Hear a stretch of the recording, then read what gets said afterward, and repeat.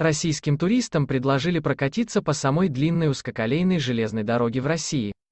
Об этом сообщает «Российская газета». Речь идет о самой старой в стране дороге такого типа, которая проходит от города Алапаевск до поселка Калач в Свердловской области.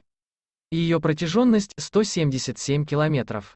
По такой дороге можно проехать от Алапаевска до Калача, который называют краем земли, за 8 часов, говорится в статье.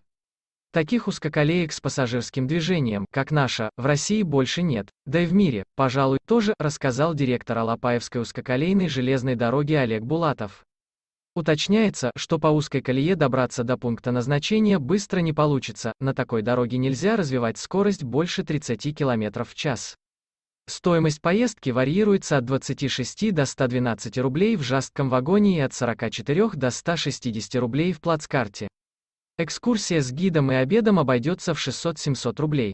Также туристы смогут посетить музей истории Алапаевской узкоколейки, который находится на территории действующего электроцеха. Ранее, 11 июня, премьер-министр России Михаил Мишустин подписал постановление о льготных тарифах для путешествий на поездах для семей с детьми. Билеты со скидкой смогут купить семьи с одним или несколькими детьми до 18 лет. Уточняется, что программа рассчитана на поддержку внутреннего туризма, на нее уже выделено более 1,3 миллиарда рублей. Если видео было вам полезным, пожалуйста поставьте лайк и подпишитесь на наш канал.